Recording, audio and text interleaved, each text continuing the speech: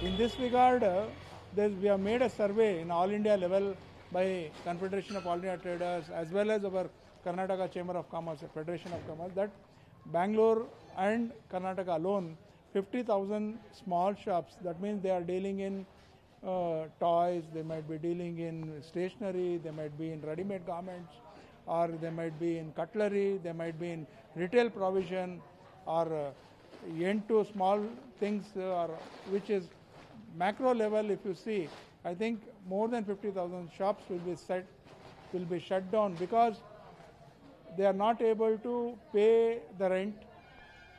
The, their uh, capital is very limited. There is no financial support from the institution like banks and all because all this trade, what I am speaking, is run by with the spell family owned businesses or by friends or relatives.